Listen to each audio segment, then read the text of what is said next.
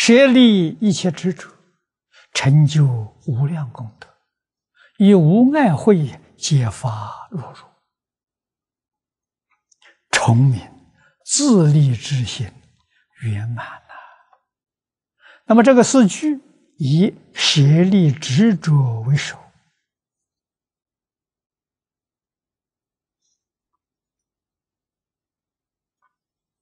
因此，实为入道之关键呐！你能不能入道？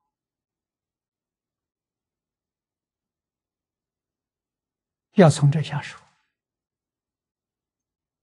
你说这多重要啊！今天我们学佛，无论出家在家，不能够欺辱，就是因为有执着。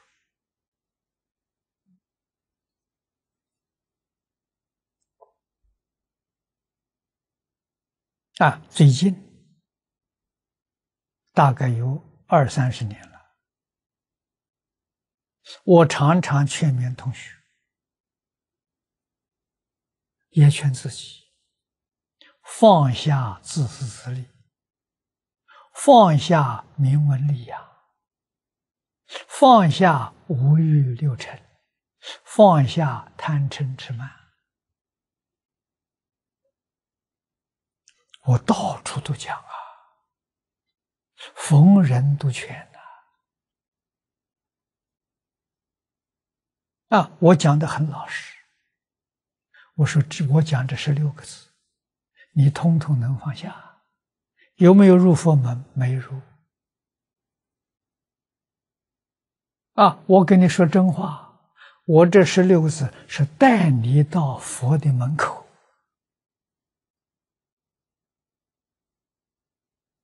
没有进去，进去要用佛的标准，我的标准不行。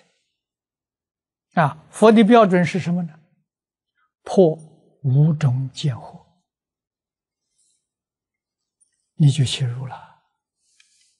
入什么境界呢？小乘粗苦，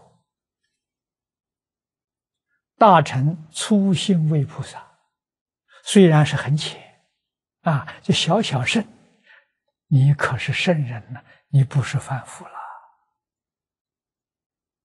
你已经入佛境界了，刚刚入进去，很浅，但是是真的，不是假的。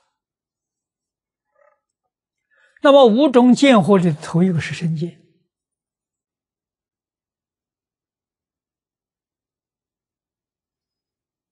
你要真搞清楚，真搞明白。生不生我？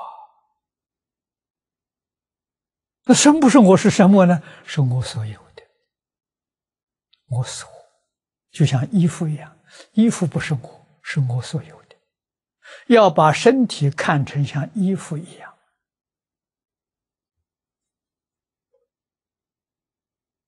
《金刚经》前半部说思想无我相。就是无神相啊，无人相、无众生相、无寿者相，这四相刚刚破，就是须陀洹。在《金刚经》上说的很清楚、很明白了。四相没破，没有入门呐，都在门外呀。啊，第一个身见破了。啊，我执破了，我破了，我身破了。